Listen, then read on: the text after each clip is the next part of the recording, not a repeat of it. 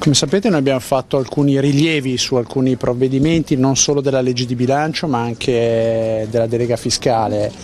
Eh, ho accolto con favore ieri l'osservazione del Ministro Giorgetti, in particolare sul patent box,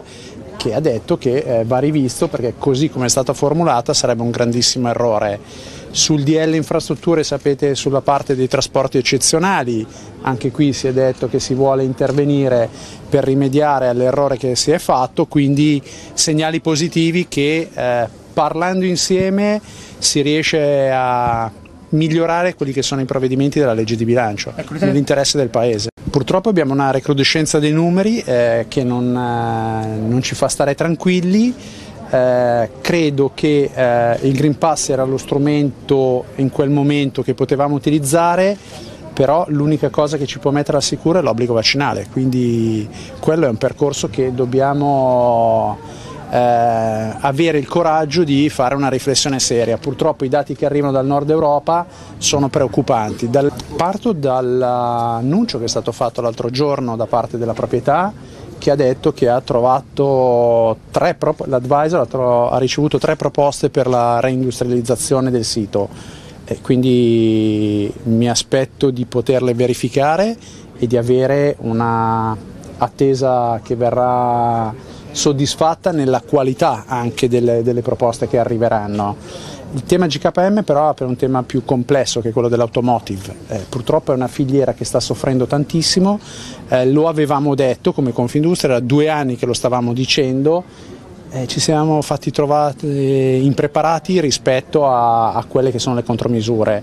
Le contromisure non è il decreto antidilocalizzazione, guardi, gli industriali per primi, su chi fa il mordi e fuggi non lo possiamo accettare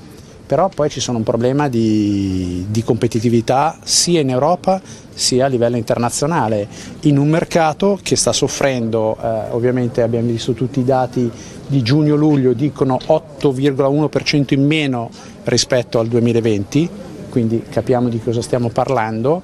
eh, è un, uh, un settore che è soggetto a una transizione forte dal punto di vista energetico e ambientale quindi un ripensamento totale della filiera dell'automotive. Accelereremo per la firma del patto per il lavoro e lo sviluppo dell'area metropolitana che può essere funzionale sia al patto regionale che a quello nazionale. Dobbiamo raccogliere tutte le opportunità che stanno emergendo dopo diciamo, questa crisi durissima che l'area metropolitana ha subito con il Covid e i numeri ci incoraggiano perché la crescita dell'economia fiorentina Mm, già in questi ultimi mesi supera il 6% del valore aggiunto del PIL, entro la fine dell'anno noi torneremo eh, ai valori del 2019 ante Covid e sull'export addirittura in molti settori li supereremo. Questi sono dati molto incoraggianti. Io credo che non si debba assolutamente abbassare la guardia, per ora la situazione è sotto controllo, mm, penso che eh, diciamo, questo Natale si potrà affrontare in modo, in modo, abbastanza tranquillo, ma proprio per non abbassare la guardia occorre mettere in campo misure. Eh, ci sono varie ipotesi, si parla ad esempio anche di restrizio, maggiori restrizioni per chi non si vaccina ipotesi avallata da molti esperti, tra cui anche il professor Bassetti. Eh, io credo che quella possa essere una delle strade, così come anche valutare l'obbligo vaccinale in determinati settori, come già si sta facendo.